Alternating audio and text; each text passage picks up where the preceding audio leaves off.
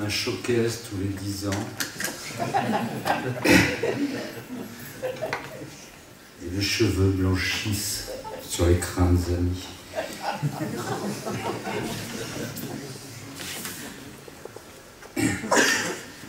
Et c'est beau.